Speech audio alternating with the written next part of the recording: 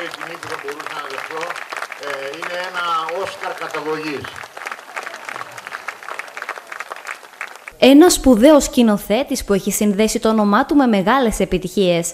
Ένας άνθρωπος της τέχνης με πολλές βραβεύσεις, ξεχωριστή συμβολή στην πολιτιστική ζωή του τόπου αλλά και κριτικής καταγωγής. Ο λόγος για τον Μανούσο Μανουσάκη, τον οποίο χθες στο χωριό Αυδού υποδέχτηκε σε μια μεγάλη γιορτή και να τον βραβεύσει για το έργο αλλά και την προσφορά του. Η σημερινή βραδιά πραγματικά ήταν μια έκπληξη όταν μου το προτείνανε και μια ευχάριστη έκπληξη. Όσο περνάει η ώρα που είμαι εδώ, τόσο αισθάνομαι σαν τον Αντέο που πατάει στη γη και παίρνει δύναμη. Είναι πολύ συγκινητικό να σε καλούν στον τόπο καταγωγής σου για να ε, σε τιμήσουν. Πραγματικά είναι συγκινητικό γιατί δεν, δεν, δεν έχω ζήσει εδώ, έχω γεννηθεί στην Αθήνα, ελάχιστα έχω έρθει από εδώ πέρα, αλλά πάντα το Αυδού ήταν μια άβρα μες στο σπίτι. Υπήρχε αυτό το Αυδού στο σπίτι. Πολίτες αλλά και τοπικοί φορείς και σύλλογοι έδωσαν το παρόν στον αύλιο χώρο Παναγίας Σχολαρχείου.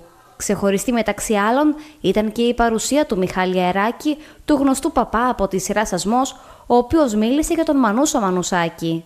Με το Μανούσο πρωτοσυναντηθήκαμε και συνεργαστήκαμε μέσω το 1999 στη σειρά Σύνορα Αγάπης που γυρίσαμε στην Κρήτη και ο Μανούσος ως αθεράπευτος άνθρωπος και καλλιτέχνης για τις ρίζες του έλεγε ότι ψάχνω να βρω κάτι να κάνουμε μία σκηνή στο χωριό μου στα Βδού. Οι φετινές εκδηλώσεις ξεκινήσαν 28 Ιουλίου ε, όπως και κάθε χρόνο. Ξεκινάμε η πρώτη εκδήλωση από την Αγία Παρασκευή που γίνεται ένα μικρό γλέντι σε μια μικρή πλατεία της Αγίας Παρασκευής.